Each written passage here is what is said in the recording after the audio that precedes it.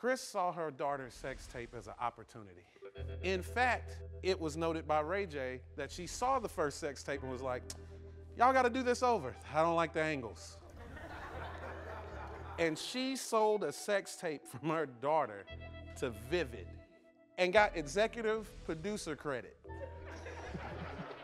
and this is the mother figure you call lighthearted entertainment. you, you gotta be kidding me.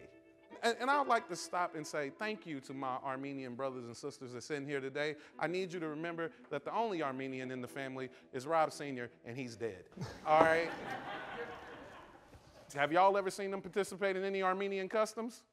No, they're just using an Armenian name for clout, just like they use niggas.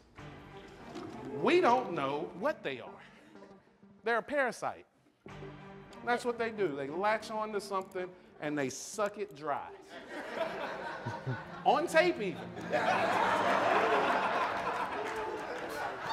and then they don't take marriages serious at all. Rest in peace to both of Kris Jenner's husbands, Rob and Bruce. Never to be seen again. Are we promoting fatherless homes? Is that the innocent image that we're spreading across the world? Millions of people follow? There's no wonder that each one of these women can't keep a man either. They're only doing what they see dysfunction. And then the mother decides she don't even want to be a leader no more. She wants to follow her daughters. She ain't dated a black man ever. And then all of a sudden, she found a nigga that we didn't even know existed. and has been showing this nigga off everywhere. Do anybody know what Corey does? No. Everything that they represent, starting from the top, is toxic. It's all negative. There's no way you're going to tell me that we are going to uphold these negative views because they bad bitches. Which is a stretch because we've seen Khloé before the surgery. Thank you. This looks like Bigfoot.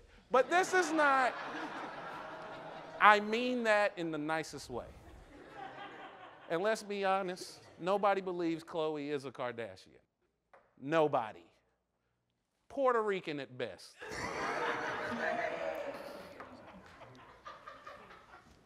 There's no way that five foot two Kris and five foot three Rob made a six foot eight power forward. we know we know it's OJ's kid, but we just trying. That's hearsay. That's hearsay, Mr. It Davis. is hearsay. Strike that and from I'm the here to say it is a fact.